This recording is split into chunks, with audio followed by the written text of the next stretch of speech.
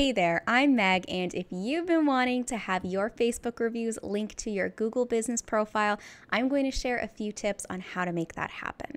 So, how that works is there is an algorithm that connects your Facebook page with your Google business profile. So, there is no way for you to automatically make that connection happen, but what you can do is help the Google Facebook bots connect your profiles by making sure the information on the back end is the same. So, I'm going to show you where to update your information on both Google and Facebook.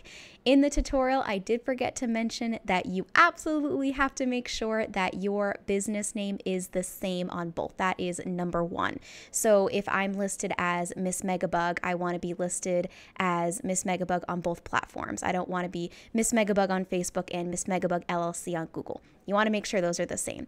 And you want to make sure the information that you do add mirrors each other as close as possible. Some things like categories aren't an exact match, but you just have to do your best and make sure that everything is the same as much as possible. Before we dive in, I just wanted to show you what that link looks like. So all I did is I Googled my business and my listing came up and scrolling down to reviews, this is where you can see my Facebook reviews.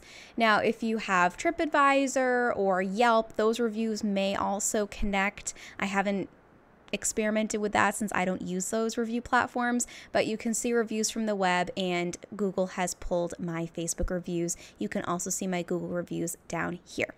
So now we are going to head over to our Google Business Profile and Facebook page.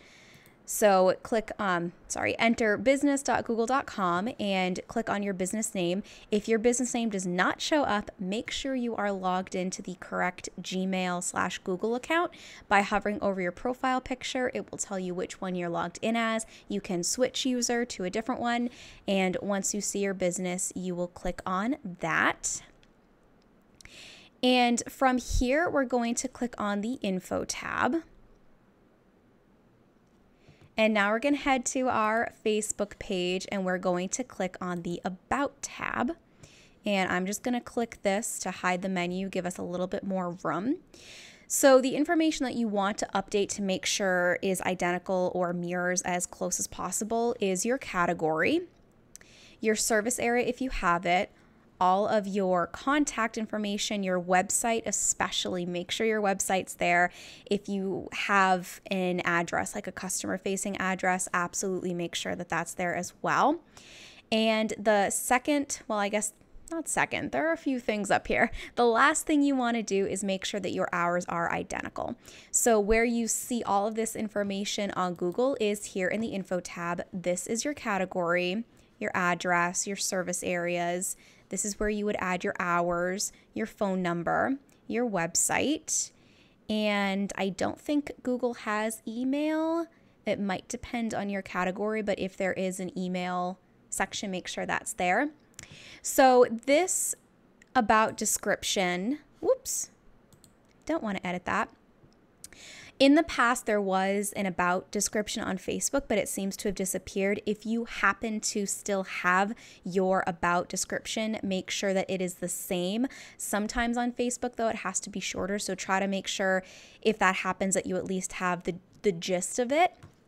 And that is it. That is how you help the algorithm and the bots connect your Facebook reviews to your Google business profile. I hope it helped. I have several other tutorials regarding Facebook and Google reviews that I will link to down below. And if you're interested in learning even more tips and tricks on how to market and grow your business, check out my Marketing 101 online course. I've also linked to that down below. Thank you for watching, and I will see you in the next video.